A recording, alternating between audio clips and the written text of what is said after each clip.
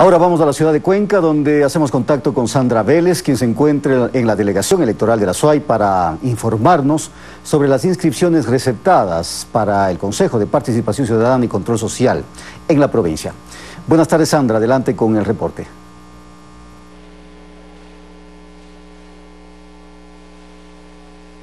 Gracias, estudios. Efectivamente, se cerró el proceso de inscripción para los postulantes del Consejo Nacional Electoral en, eh, el Azuay. Yo me encuentro con Dalia Clavijo, prosecretaria del Consejo Nacional Electoral en la delegación del Azuay. ¿Quién nos va a contar, Dalia? ¿Qué número de postulantes tenemos por nuestra provincia?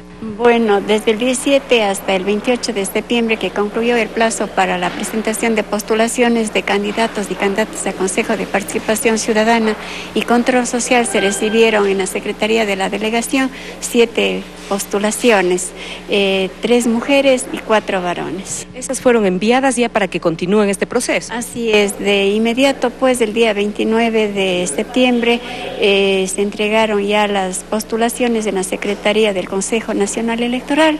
En este momento nos encontramos en la fase de recepción de denuncias desde el 1 al 4 de octubre y desde el 5 al 8 de octubre se presentarán pues o se recibirán las mm, contradicciones que presenten los ciudadanos de las candidaturas y a los postulantes. Bien, muchas gracias.